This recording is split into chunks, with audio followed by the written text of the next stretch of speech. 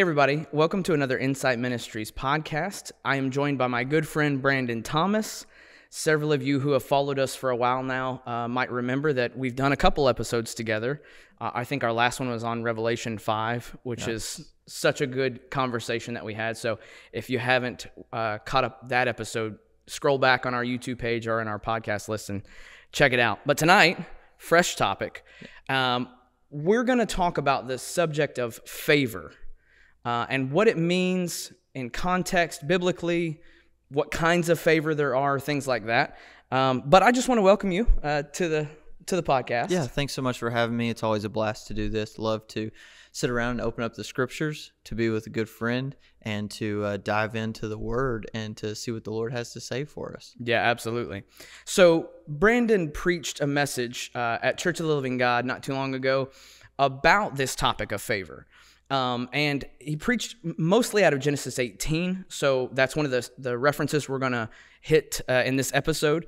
But um, what kind of went into that message? Like maybe tell us how did the Lord download that to you? And was that part of the plan and, and all that kind of stuff? Yeah, so great question. Uh, originally, uh, I was all set uh, on a message for that Sunday. Um, I had a message fully prepared, fully baked, and ready to go. Uh, I was not looking for a message, um, but the Lord had other plans, as He often does. And uh, as I like to say, He's still the boss. So uh, when I was in prayer that morning, um, the Lord um, really started to prick my heart about this idea of hunger and this idea of um, becoming comfortable in this place where we're at and in this place of, of um, familiarity. And I, rem- I was reminded of Abraham in Genesis 18, where he's in a place where he's met with God often, he's heard from God often, and he sees the Lord walking by. He's sitting at the door of his tent in this posture of expectation, kind of prophetically. And when he sees the Lord, he gets up and he takes off sprinting to the Lord, and he cries out with this this wild request please lord if i have favor in your sight don't pass me by. And um, I, preparing the message, there wasn't a ton of um, insight or thought going into the the idea of favor. But as we got into the favor, the Lord really honed in on that topic, and we spent a good amount of time there during the message about this idea of what it looks like to have favor with the Lord. Um, I think in in Christian circles, we we often maybe miscategorize favor. Um, we would maybe look at the topic of favor and say you either have favor or you don't have favor. But biblically, there are really two camps for favor. In Proverbs, the, the scripture tells us that there is favor with man, but there's also favor with God. And those two things look vastly different. They do. And, and so the angle that you took in your sermon was, was more aligned with what favor with God looks like but I think we as Christians are far more familiar with what favor with man looks like. You know, for instance, um, you might have somebody come to you and say, Hey, will you pray for me that I have favor at my job or favor with my boss for a, a raise? Um, you know, and I, we've talked about this. Sometimes you're you're driving around and even looking for a parking spot, you get a spot right at the front door, and you're like, "Hey, I've got favor." Right? Won't he do it? Yeah, that's right. And so I think we as Christians get very comfortable with the topic of favor. Right. And oftentimes when we're praying for favor, we're praying for an outcome. Right. Something to change, something to be gifted to us, that kind of favor. But that's that's not the same type of favor uh, that we see in Genesis 18. And so, kind of break down for us uh, the difference. You said that it lives in two camps, really favor with man, as Proverbs says, and favor with God. So, contrast those two for us. Sure. The way I like to think about it is favor with man looks like open doors, opportunities, um, open blessings. If you want, whatever, whatever uh, title you want to use there. It's it's an opening with man. Hmm. The favor of man is an opening, a provision with man. So when I'm asking the Lord for favor with man in my job, or favor with man in a business deal, or favor with man um, when I'm stuck in traffic and I've got to get to my kids' practice, it, as silly as it may seem, um, the scripture does say he cares about the things that concern us. Right. Um, it may seem silly, but that favor is is favor with man that opens doors with man. Right. And so when you're you're right, we're we're very familiar with those because the results are naturally tangible. When I ask for favor with man and the result is a raise at work, I, I can point to that very easily and go, I prayed for favor, favor came, and this was the result. But favor with God does not look like that. Hmm. Favor with God, if if favor with man looks like open opportunities with man, then favor with God looks like open opportunities with God. Hmm. And so in Genesis 18, Abraham is is met by the Lord himself. 18 Genesis 18:1 says the Lord came to visit Abraham. The Lord comes walking by Abraham's tent. And the and Abraham says to the Lord, "If I have found favor in your sight, please don't go." And I was reminded God has two best friends in the Old Testament. It- mm. David is obviously a man after God's own heart, but two people are called God's best friends in the Old Testament Abraham and Moses. Right. And both are said to have tested, if we can use that terminology, the favor that they have with the Lord. And in both instances, in Genesis 18 and in Exodus 33, the friends of God test their favor with God and they test it by saying, if I actually have favor with you, it will look like you coming close and you staying close to me. Right. Exodus 33, Moses is being shown the path forward. Uh, they've come out of Egypt. They're being shown the path into the promised land. And he says, if your presence, he says this to the Lord, if your presence doesn't go with us, then we're not going to go. Like we're not going to get up from here and go without your presence. And and that tells us that um, some people would say, well, the promised land was their measure of favor. They were being gifted a land flowing with milk and honey. And so that promised land was favor with God. But Moses said, I don't care what land it is. If you're not there, I don't want it. Abraham does the same thing. So Genesis 15, Abraham's remind given this promise, this great promise that he and his descendants are going to be blessed for forever at the place where he meets God in Genesis 18, the very same place.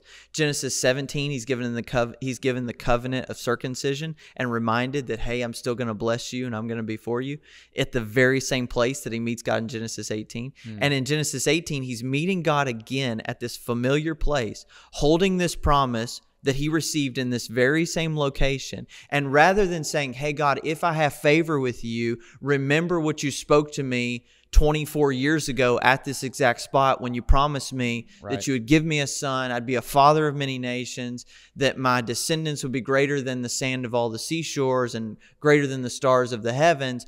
But but Abram does Abraham doesn't say that. Abraham says, if I have favor with you, you stay with me Right. and he he goes on and he matter of fact he says and and in fact if you'll stay with me i'll give you something Right. i'll i'll provide you an offering is what he goes on to give the lord Yeah. he goes on to give the lord an offering that in the original hebrew would sustain the heart of the mm. lord he ministers to the heart of the lord and he says if you'll stay with me i'll minister to your heart I love that. You said in your message, you said, um, you know, we we invite the Lord to stay. You know, Abraham says, "Don't pass me by."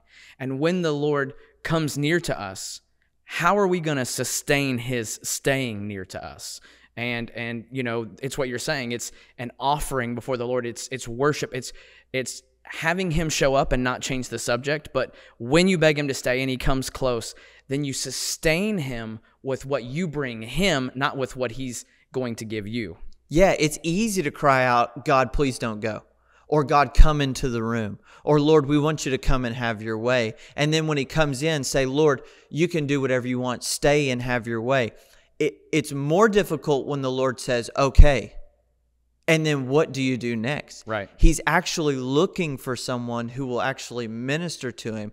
Uh, the scripture says in Genesis 18 that that Abraham um, would would bring an offering to the Lord, that he would that he would bring a meal before the Lord, that that the Lord could feast on, that the Lord went and reclined under a tree. Right. The Lord of glory reclines under a tree, and and Abraham ministers to his heart. He even washes his feet, which is a it's a picture of what we see the the woman doing doing in Luke seven with Yeah. the who brings the alabaster box, and so it's it's this picture of worship, right? Right. Abraham worships the Lord, recognizing that it's not enough to just say, I want you to stay. I've actually got to give you something and provide you something in this moment. Now, you brought up a, a, a very interesting point. Um, you said that that this story in Genesis 18 it occurs at a familiar place, and you, you hit uh, on this in your in your sermon. But this idea that when God comes and visits a familiar place, because it's familiar to us, we actually have a greater chance of uh, missing that opportunity, missing that encounter. Because when we're familiar with something and we're comfortable, we oftentimes can get kind of complacent Sure. and and therefore um, when an opportunity comes sometimes we let the opportunity pass us by because we're too busy being comfortable in what we've already received so Famil- talk yeah talk about familiarity and how that can actually really kill that opportunity of favor with god It can, and you just think about it anecdotally for a moment. If you've ever gone to a church conference or you've ever been invited to a revival service that's maybe outside of your church or outside of your typical setting, there is an um, there is an excitement, an electricity, a an anticipation, an expectation in the air. You don't walk into the room with a routine or a schedule or a program, but when you're home um, whether that be your church home or your natural home or whatever that may look like for you, familiarity begins to set in. And it is a constant battle to fight against this comfort that comes with familiarity. You know, the Christian is called to live um, not comfortable right we're not called to live comfortable and and pastor bill johnson says that that sacrifice and comfort are just one step apart from each other Wow. and so what i offer as a sacrifice today will quickly become comfort and convenience tomorrow. Wow. And so I have to constantly, in my walk with Jesus, fight against this this temptation and this persuasion to become comfortable and relaxed because the temp- the the the idea is well I've met him here before. I've done this before. I was I was with the Lord here yesterday or I've I've already had my encounter with the Lord. I've already got my tears out for the week. I've I've already got my good cry out. And, and um, if the Lord is coming by the tent, so to speak, if the Lord is showing up, it's not it's not for no purpose. He's Right. coming by for a reason, and it and it requires a hungry heart to recognize that He's come by, to look up and take notice of Him, and to run to His feet. right Abraham ran to his feet Yeah. and bowed down and said, "Please don't go." Yeah, and and I think the caution here is when you experience a measure of favor with the Lord, you cannot let that become routine, or else before you know it, the Lord might have passed you by and you not even realize it. Sure. And th- what's scary is is the presence of Almighty God can become commonplace. Mm. He becomes commonplace. Goodness. We often, and, and many people have preached it, so I I don't have a good person to quote for this, but many people have have talked about the idea that one day we'll get to glory and we'll look at the saints of old and we'll say, David, what was it like to go to the tent? Or Moses, what was it like to meet him on the mountain? Or you know, Abraham, what was it like to to sit under the tree with him and minister to his heart? Only for the old saints to turn to us and say, What was it like to have the living God living on the inside of you? Right. And and it is a sobering thought to be reminded that when he shows up in a tangible, manifest way, it is it is still a holy thing. Yeah. It's still a glorious thing, no matter if I've experienced it one time or one million times. And to treat that experience as commonplace, it is a dangerous deception of the enemy. And um, he obviously, the enemy obviously works to remove us from the presence of the Lord. But if he can't convince you to get out of the presence of the Lord, he'll convince you to get so close that you treat it as commonplace. Yeah, and and you know that's such a good point because no matter how close the Lord's presence came in the Old Testament, you know, like you said with with Abraham under the tree or with Moses on the mountain, David in the tent, no matter how close the presence of God got, it's never been as close as the indwelling of the Spirit of God living within us. And and you're right, like it's easy to look at the Old Testament and go, I want those paramount encounters, but yet how much do those saints long to know what it was like to have the Spirit living on the inside of them? The flesh and blood Christ says to his apostles, I, I've got to go. Yeah. Because it's better It's for, for you good, right. that I would go so that he can come. Right.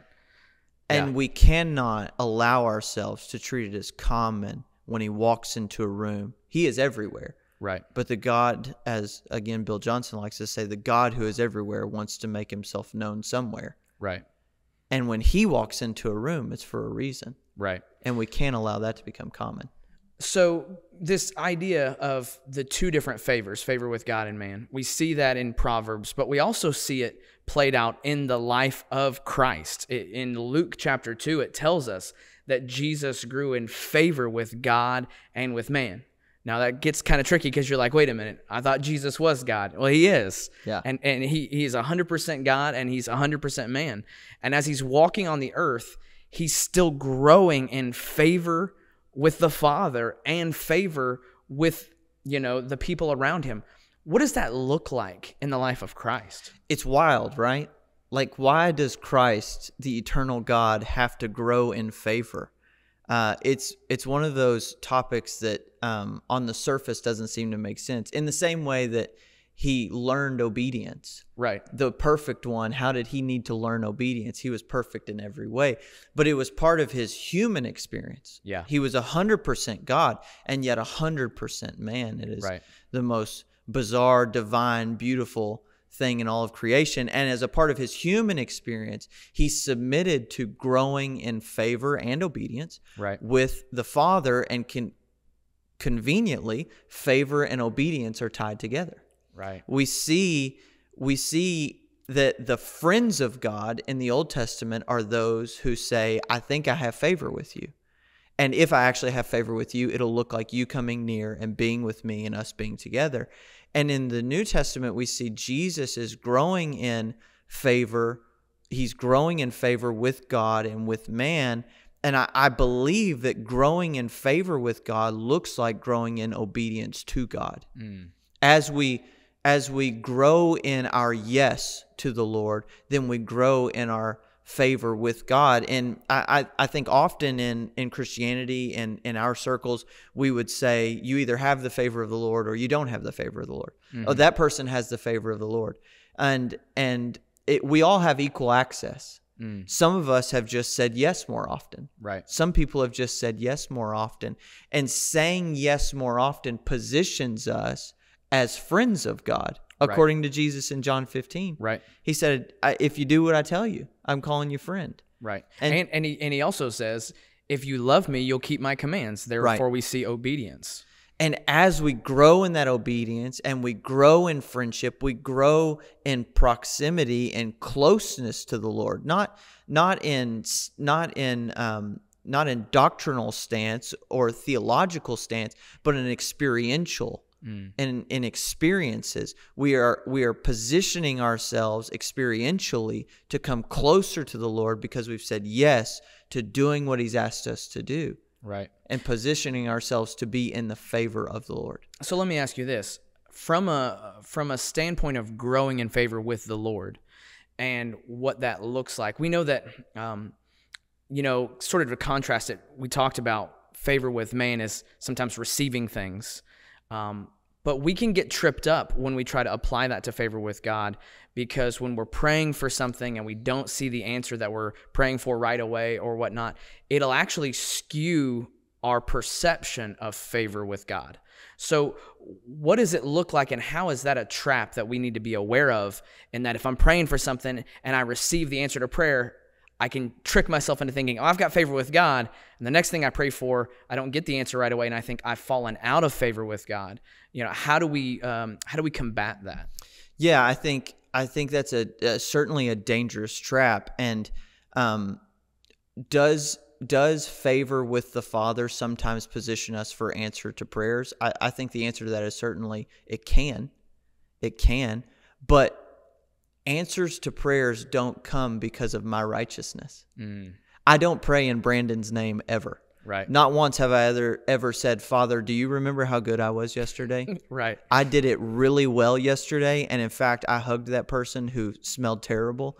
and so you you should remember that and show favor to me and grant my request. My prayers are always in Jesus' name. Yeah. My prayers are based upon his righteousness, his finished work, his goodness, his perfect positioning with the Father. And I've got to rest in if he says yes or if he says no, I'm resting in his perfect provision as a perfect Father. Yeah. And so that is separate from separate from my favor with him because my favor with him, the reward of my favor with the Father is actually intimacy with the Father. So good. And so so I, I think we've got to change our perspective on our reward. Yes. We've got to change our perspective on our reward. Uh, Jesus tells lots of parables throughout the New Testament, but he talks about a treasure. A man finds a treasure. The treasure is not the kingdom.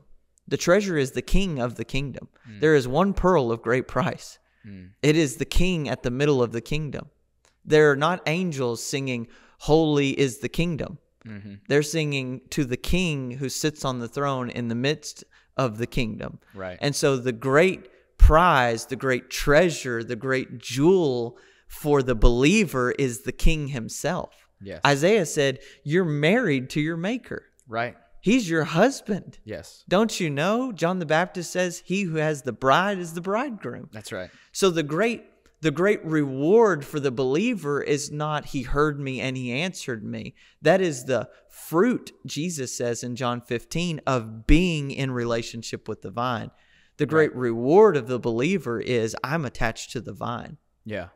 That's so good. He he is having him. He is the favor with the Lord.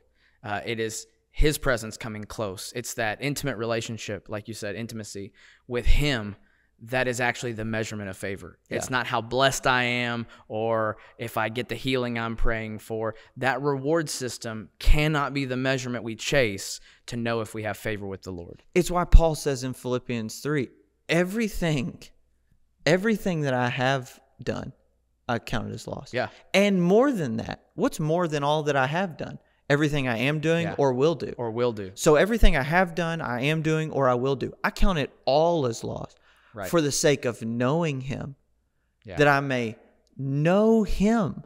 He is the great treasure. Yeah. He is the great reward. And Pa- Paul would Paul would echo this time and time and time and time again. We we like to quote Paul, I can do all things through him who's Paul would say that from a prison, from a jail cell because he had found if I have him, nothing else matters. That's right. Nothing else matters. Yeah. So let me ask you this, and we'll kind of wrap up. But we've talked about understanding the difference between favor with man, favor with uh, favor with the Lord, and how He is that prize.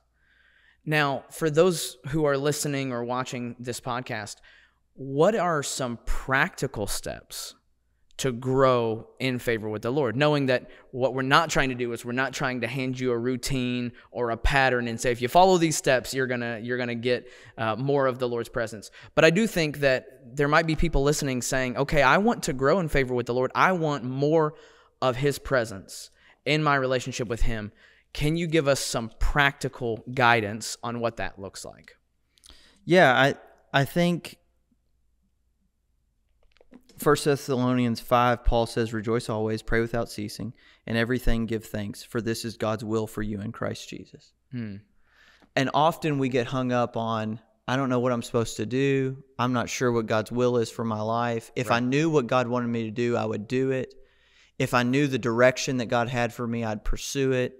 If I knew the things that God wanted me to chase after, I'd chase after them.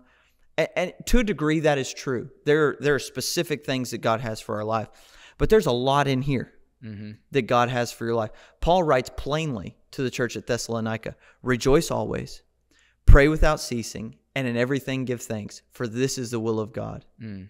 This is the will of God. What does that look like practically? Well, it looks like how do I rejoice always? Not in my flesh. Right. I've got to be rejoicing always by finding Him in every circumstance, finding Him in every moment. Whether it's on a mountaintop, I've got to find His feet. Whether it's in a valley, I've got to find Him as a foundation. How do I pray without ceasing? I've got to continually be turning my affection and my attention back to Him. Right. How do I give thanks in everything? I'm, I'm reminded through the scriptures of who He has been. Yes. I'm reminded, yeah, maybe my life doesn't look great right now, but according to this, He is unchanging. He has never changed and He never will change. So I dig through the scriptures and I give thanks because maybe it doesn't look like I'm going to be rescued right now, but but the scripture says he's the one who comes and rescues me. He's the, Yeah. the scripture says he's my redeemer. The scripture says he's my savior. And so I, I give my affection to the places where I know I can give my affection. yeah. I may not know everything to do, but I do know some things to do. Right. I can find him in his word. I can find him in prayer.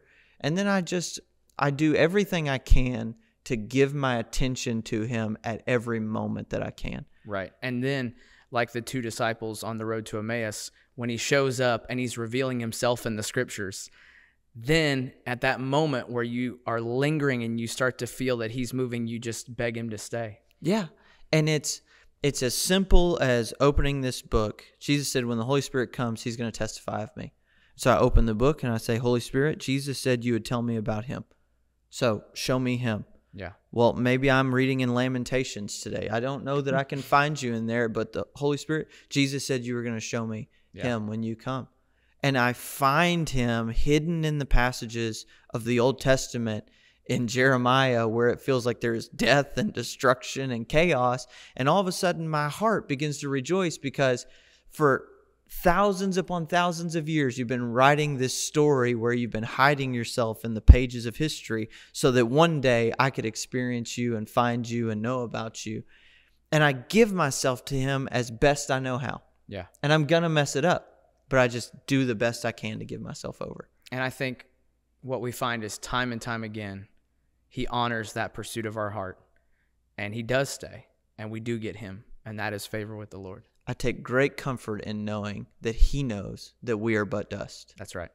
Yeah, absolutely. Well, will you will you maybe close us out by praying for anybody listening or watching this episode? Will you just pray that we would have that that holy hunger to pursue favor with God and favor with man, and um, and just really engage with His presence in a new and fresh way. Yeah, absolutely. Father, we we love you and Jesus, we we thank you so much for all that you've done for us. Lord, you've been so good to us. We thank you for your presence here today.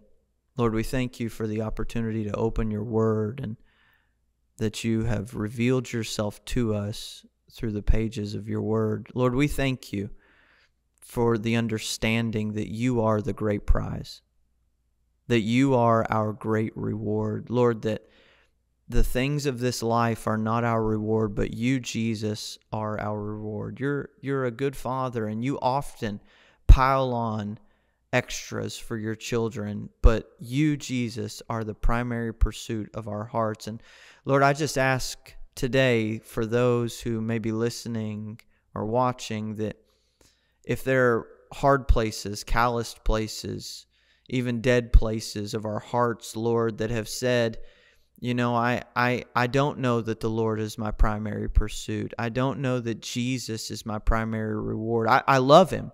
I cherish him and I care for him, but I've turned my affections to other things and I've I've turned my heart. Maybe maybe Lord it's promises that you've given and we've held so tightly to the promises that you've given that we fell in love with the promise more than the one who's given the promise, more than the promiser. And Lord, I just pray that we would have eyes that would turn back to you.